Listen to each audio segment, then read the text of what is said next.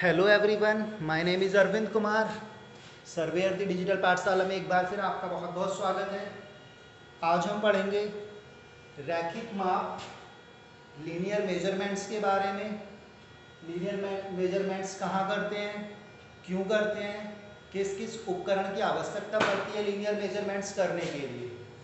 Linear measurements में सबसे पहले मैं बताऊँगा आप लोगों की लीनियर मेजरमेंट्स होता क्या है। तो किन्हीं भी दो बिंदुओं के बीच की सीधी दूरी मापने को रैखिक माप या लीनियर मेजरमेंट्स कहते हैं। बिंदुओं के बीच की रैखिक दूरी कई तरीके से मापी जा सकती है। रैखिक माप की किसी भी विधि का चुनाव सर्वेक्षण की वांछित परिशुद्धता पर निर्भर करता है कि हमें रैखिक माप के लिए कौन सी विधि का प्रयोग करना है। ये सर्वेक्षण की परिशुद्धता पर निर्भर करेगा। रैखिक माप के लिए जनरली हम दो पद्धतियों का यूज़ करते हैं। नंबर वन हमारी पद्धति है सीधी पद्धति।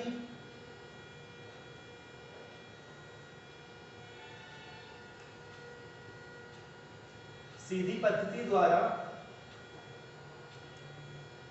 सीधी पद्धति द्वारा रैखिक माप।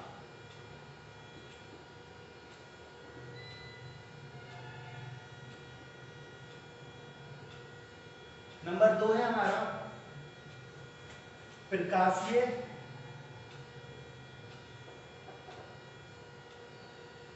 उपकरण द्वारा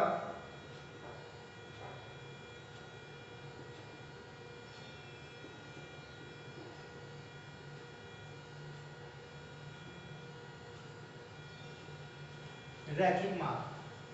कोई भी रैखिक मेजरमेंट्स लेने के लिए, कोई भी रैखिक माप, मापने के लिए हमारे पास दो पद्धतियाँ होती हैं। नंबर वन सीधी पद्धति। नंबर दो प्रकाशीय उपकरण। सीधी पद्धति में हम जरीब फीते का प्रयोग करके कोई भी रैखिक दूरी को मापते हैं ग्राउंड में जा कर के। जबकि प्रकाशीय उपकरण में हम कोई भी प्रकाशीय उपकरण, जैसे थियोडोलाइट हो गया total station digital theodolite tacheometer ऐसे उपकरणों का प्रयोग करके हम रैखिक दूरी मापते हैं। सीधी पद्धति में ज़मीन पर बिंदुओं के बीच की दूरी में जरी या फीते का प्रयोग करके ही रैखिक दूरी मापी जाती है। रैखिक सीधी पद्धति द्वारा दूरी मापने के लिए हम पाँच विधियों का प्रयोग करते हैं। सीधी पद्धति में हम रैखिक दूरी मापने के लिए पाँच पद्धतियों का यूज़ करते हैं। उन पाँच पद्धतियों में नंबर वन है, जैसा कि अभी मैंने बताया, रैखिक दूरी मापने के लिए हम कोई भी दो पद्धति प्रयोग करते हैं सीधी पद्धति द्वारा रैखिक माप, दूसरा प्रकाशीय उपकरण द्वारा रैखिक माप। सीधी पद्धति में हम पाँच विधियों का प्रयोग करते हैं। ठीक है, नंबर वन, इसमें सीधी पद्धति में हमारा नंबर वन आ जाता है, कदम द्वारा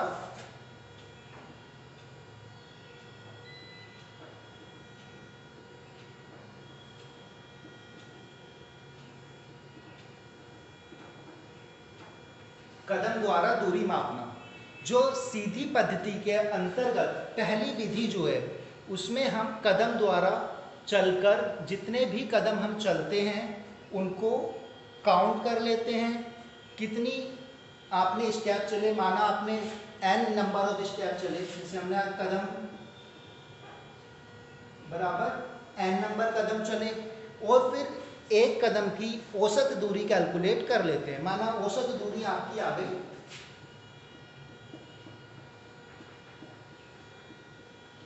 औसत दूरी एक कदम की आपकी आई। एक्स मीटर या एक्स सेंटीमीटर या एक्स यूनिट कोई भी यूनिट हो सकती है डिस्टेंस की। एंड उसने कदम चले तो कदम द्वारा टोटल रैखिक दूरी, यानी कि कुल रैखिक दूरी आपकी हो जाएगी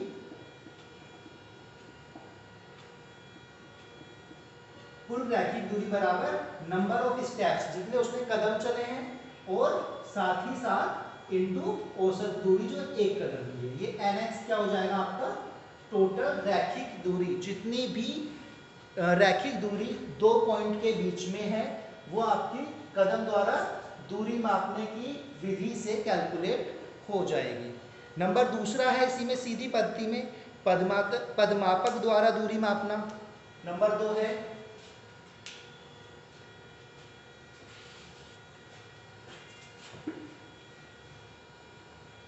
दूसरी पद्धति है पदमापक द्वारा दूरी मापना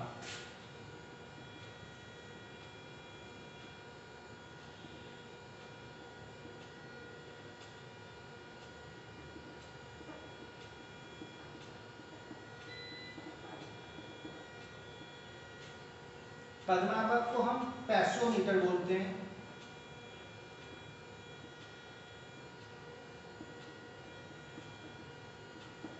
पदमापक को क्या बोलते हैं मेरे बच्चे? पैसोमीटर। पैसोमीटर क्या होता है? एक छोटी सी डिवाइस होती है जिसे आप अपने पॉकेट में भी रख सकते हैं और पैर में भी बाँध सकते हैं जो काउंट करता है नंबर ऑफ़ स्टेप्स। जब कोई आदमी पैदल चलता है ग्राउंड पर या कहीं पर भी पैदल चलता है तो पदमापक का क्या कार्य होता है? वो स्टेप्स को काउंट कर लेता है जो सीधी पद्धति के अंतर्गत आपने पढ़ा था अभी कि सीधी पद्धति में क्या स्टेप्स खुद सर्वेक्षण काउंट करता है।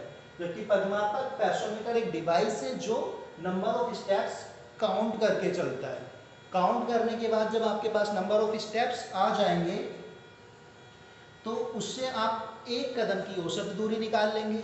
एक कदम की औसत दूरी आने के बाद आप नंबर ऑफ़ स्टेप्स जो आए हैं, उस औसत दूरी को नंबर ऑफ़ स्टेप से मल्टीप्लाई करके टोटल दूरी कैलकुलेट कर सकते हैं। यानी कि आपकी पैसोमीटर की सहायता से टोटल रैखिक दूरी आपकी आ जाएगी। इसमें तीसरी पद्धति जो होती है, वो होती है पैडोमीटर द्वारा दूरी मापना। नंबर तीसरा, सीधी पद्धति द्वारा रैखिक माप के अंतर्गत ही तीसरी पद्धति है पैडोमीटर द्वारा दूरी मापना। पैडोमीटर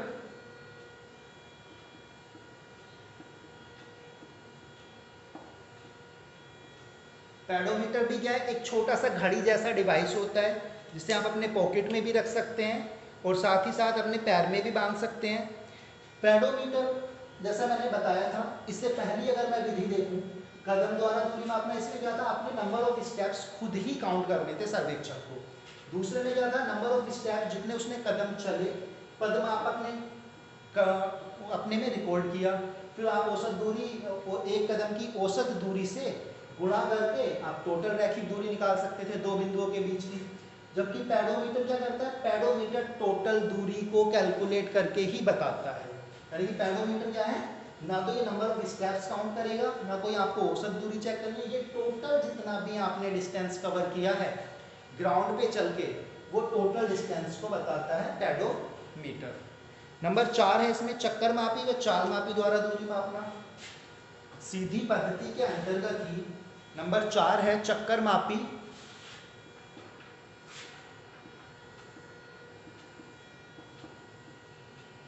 चक्कर मापी